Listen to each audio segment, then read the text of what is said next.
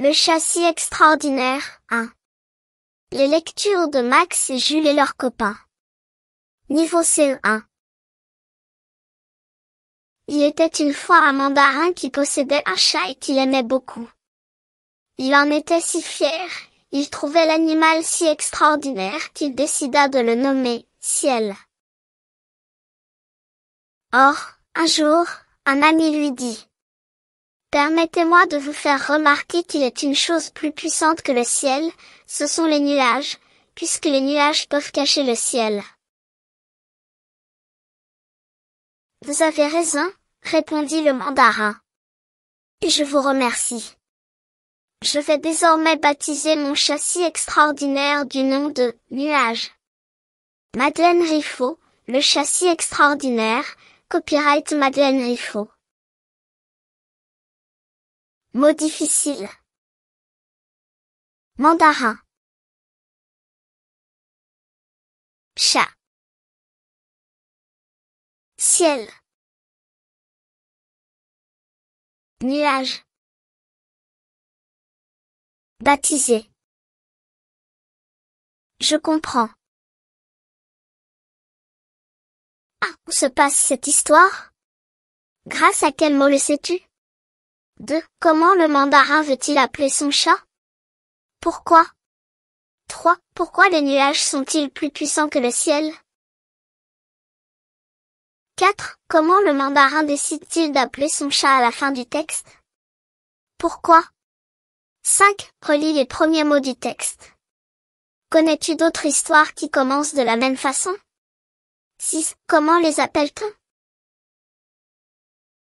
Réponse cette histoire se passe en Chine. Je le sais grâce au mot mandarin, qui est un titre de noblesse chinois. 2. Le mandarin veut appeler son chat ciel, car il le trouve extraordinaire. 3. Les nuages sont plus puissants que le ciel car ils peuvent le cacher. 4. Le mandarin décide d'appeler son chat nuage, car il a compris que les nuages sont plus puissants que le ciel.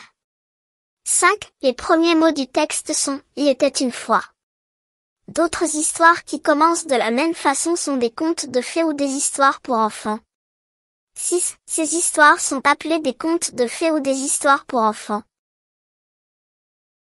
Je découvre les mots du texte. 1. Cite des choses ou des faits qui te semblent extraordinaires.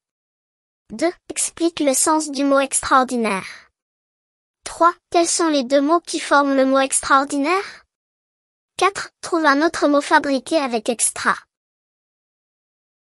Réponse 1. Des phénomènes naturels spectaculaires, des exploits remarquables, des talents exceptionnels, ou des situations hors du commun peuvent être considérés comme extraordinaires.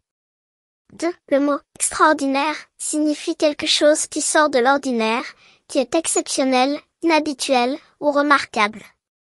C'est souvent utilisé pour décrire quelque chose qui dépasse les attentes ou qui est au-delà de la norme. 3. Les deux mots qui forment le mot extraordinaire sont extra et ordinaire.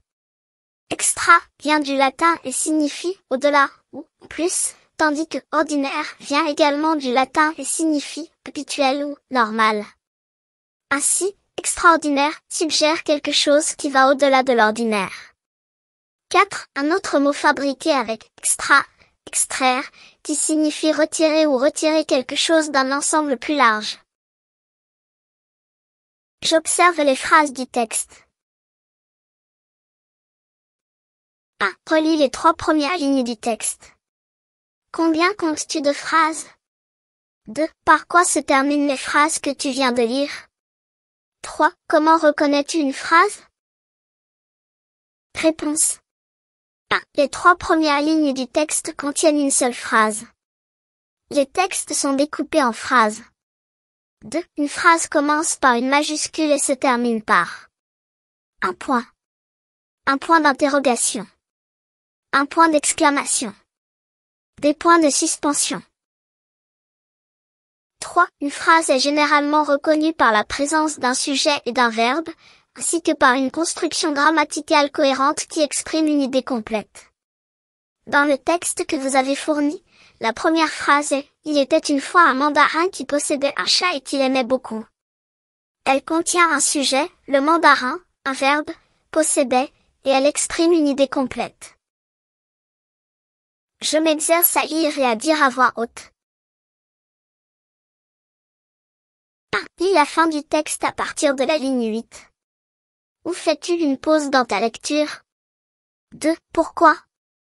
3. Relis maintenant tout le texte en respectant bien les pauses entre les phrases.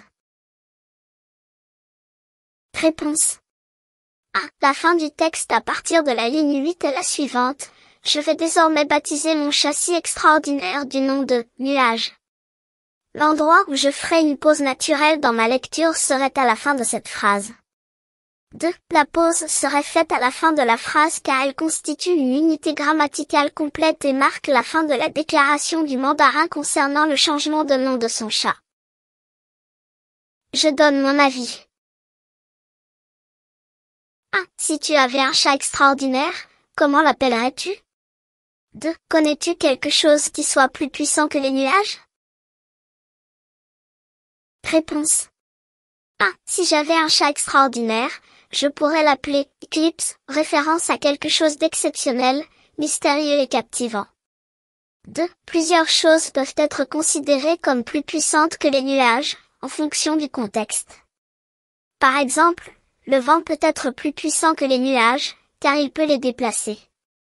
De même, la lumière du soleil est plus puissante que les nuages, car elle peut percer à travers eux. Cela dépend donc du point de vue et du contexte spécifique.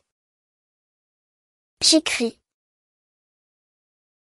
Imagine que le mandarin possède un autre animal.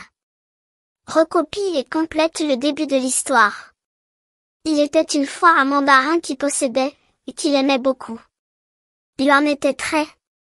Il trouvait l'animal si, qu'il décida de l'appeler. Réponse. Il était une fois un mandarin qui possédait un oiseau exotique et qu'il aimait beaucoup. Il en était très attaché. Il trouvait l'animal si majestueux qu'il décida de l'appeler Eldor.